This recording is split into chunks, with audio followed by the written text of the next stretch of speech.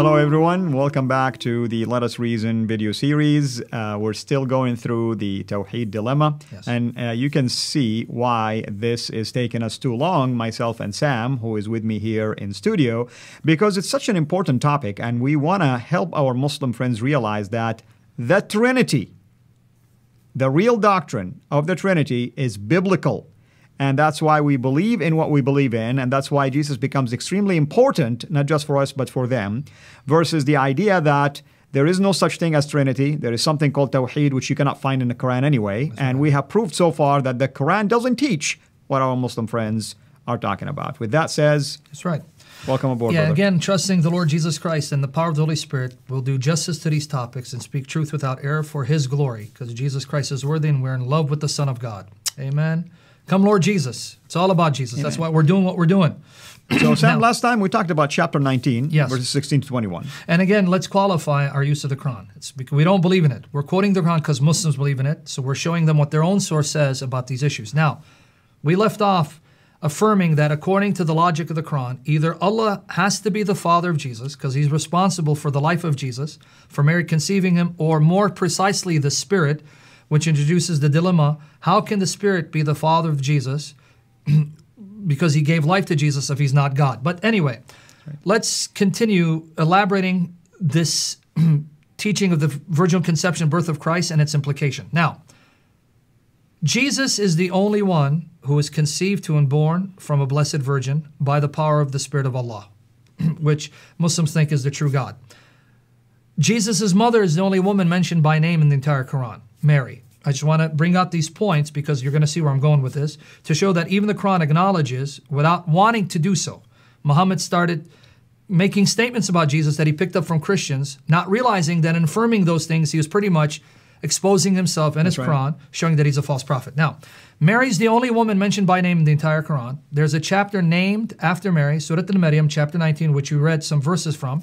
So not only the only woman mentioned by name, she's the only woman that has an entire chapter named in her honor, and her family is the greatest family that Allah created, the most exalted of all human beings, all human families that Allah has created. And we're going to look at that in a minute. But wh- where I'm going with this is this.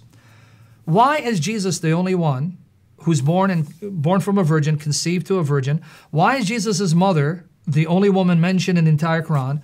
Why is it her family is honored as the greatest human family that Allah created? That's actually chapter 3, verse 33 of the Quran. It says that of all the beings that Allah created, He, pro- he chose Adam. From Adam, He chose Abraham. And from Ab- Abraham, the family of Imran. In fact, chapter 3 is named the chapter of the family of Imran. That's right. Why the family Imran? Because Imran is supposedly the maternal grandfather of Jesus, the father of Mary. Why? The Quran doesn't tell us.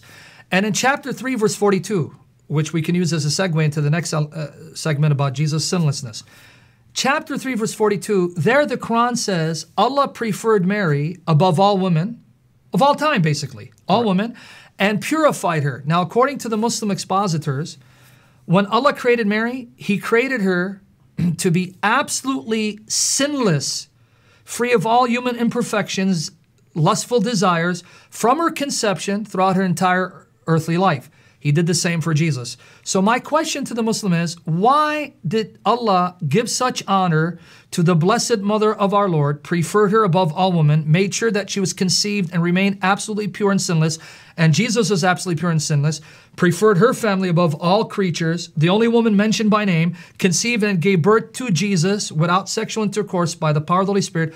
Why these honors lavished on Jesus and his mother and no one else? In fact, by way of contrast, just to contrast how amazing this is, you and I both know that according to the Islamic tradition, specifically narrations found in Sahih Muslim, the second most authentic collection of narrations attributed to Muhammad and his companions.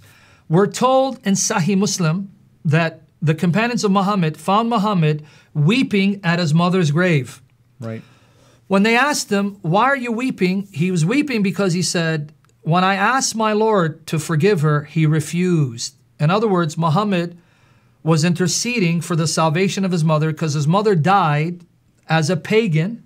She died during the time of Jahiliyyah, pre Islamic ignorance. She was pretty much, you know, a, a Jahil, uh, so to speak. And Allah said, No, I won't forgive her. So, according to this tradition, Muhammad's mother is in hell. Another tradition in Muslim says a man came to Muhammad whose father had died in the pre Islamic period, what they call Jahiliyyah. Correct. So, he died a pagan. He said, Where's my father? Muhammad said, He's in the fire. So the man walked away sad. So then he beckoned him and called him back. He says, Not only is your father in the fire, my father is in the fire also. So Muhammad affirms his father, who's named Abdullah, slave of Allah, go figure, a pagan, slave of Allah, he's in hell, and Muhammad's mother's in hell. And Muhammad is supposed to be the greatest man that Allah created. And yet, Jesus' mother, the greatest woman, absolutely sinless, her family, the greatest of all families, conceived and gave birth to Jesus while a virgin. Why? The Muslims don't have the answer. Mystery of mysteries, my brother. we so. have the answer, though, right? Because he's the eternal Son of God, and the only befitting way for God's eternal, glorious, holy Son to enter into creation was through a virgin without sexual intercourse, so that people could know through the conception that God was truly his Father. And I want to hammer this point. As God, Jesus has a father, no mother. Do you know that? God is his father. As mm-hmm. God in his divine nature, he has a father, no mother. As man, as human, he has a mother and no father. Now tell me he's not astonishing. Mary is great because of who her son is. He's the God man who elevates her to the status of being the greatest woman that God ever created. Amen. Amen. With that, brother, that will lead us into another important topic related to Christ, and that might take us a couple of sessions the sinlessness yes. of Christ, according to the Quran, actually. Yes, yes, yes. In fact, if, if we can, if we want to go to start with the sinlessness of Christ, we need to first see what it says about Jesus' maternal grandmother in chapter 3, verses 35 to 36. If we can have it, chapter 3, verses 35 to 36. People can see it right now. And you see, notice there, it says, when the wife of Imran, again, the Quran assumes that Mary's father's name was Imran. That's why in chapter 3, verse 33, it says Allah preferred the family of Imran above all creatures, not Correct. just humans, Correct. all creatures. When the wife of Imran said, Lord, I have vowed to thee in dedication what is within my womb, receive thou this from me. So she got pregnant. So goes, I'm consecrating my child to you. Thou hearest and knowest. When she gave birth to her, she said, notice it's a female, Lord, I have given birth, birth to her a female and God knew very well what she had given birth to. The male is not as the female. Side note, notice that the Quran acknowledges males as superior to females, but yep. we'll return to that in future sessions, right. God willing. I have named her Mary, in Arabic, Maryam, and commend her to thee. I entrust her to you with her seed to protect them from the accursed Satan. So notice her prayer. O Allah, protect my baby Mary and her offspring from the accursed Satan. Now, did Allah honor that prayer? Did Allah answer that prayer? Yes, because we find a tradition. When we go to the next slide, you're going to see there's a tradition in Bukhari, right? Sahih Bukhari, and you and I both know Sahih Bukhari is the most authentic collection of narrations attributed to Muhammad and his followers. Sahih Bukhari, volume 4, book 55, number 641. Watch this. Did Allah answer the prayer? Watch. Yep.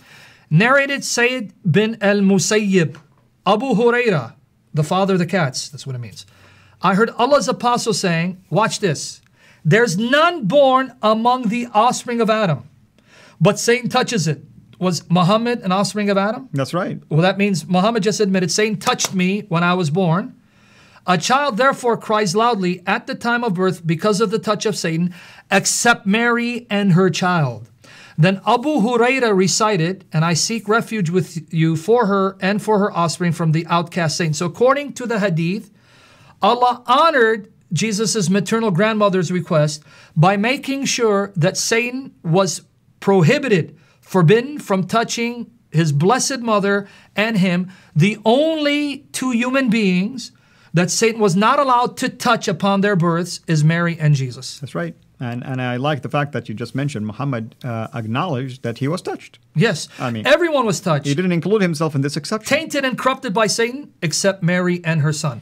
Muslims, why? If and, Jesus and, and just a man. Another thing, my friend, my brother here, you know, Muslims really try to claim that Muhammad is sinless yeah. by virtue of the forgiveness of his sin.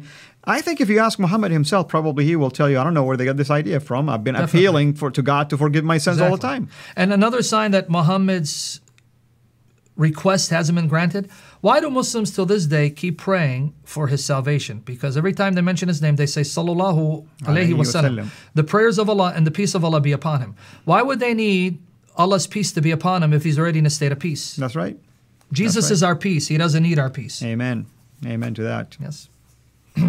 Uh, what about, uh, for instance, in chapter 19, 19, where it mentioned specifically about uh, Jesus? Oh, yeah. And uh, this, this is a teaser for the Yeah, next the next- session. yes, you yes. know, we want to venture into the phrase. Real quickly, Quran used. 1919 says that the Spirit would give Jesus Ghulaman Zakiyan, a boy absolutely pure. And Lord willing, we can pick up and elaborate on, on the next session because this will take some time to unpack. Absolutely. And again, thank you again for everyone for joining us. I hope you've been enjoying this series. Please use it in your ministry. And if you're a Muslim, please go and examine all the passages that we've been sharing with you. Till we meet again, have a blessed day. Thanks for watching. Make sure to like and subscribe. Also, hit the bell so that you don't miss future videos. And please consider becoming a patron at patreon.com forward slash Sira International. And together we can introduce Muslims to the gospel of Jesus Christ. Thank you.